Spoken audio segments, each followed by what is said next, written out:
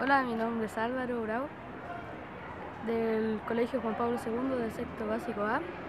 Y la manera que hago yo para reciclar es eh, buscando botellas de plástico, llenándolas con bolsa hasta que queden duras, haciendo una forma de banca y le echamos cemento y así hicimos una banca en el campo. Otra manera de cómo reciclo yo es cuando me lavo los dientes no dejando el agua corriendo. Y la última manera de cómo reciclo yo eh, dejando los cartones donde se puede reciclar y los papeles y las latas. Chao.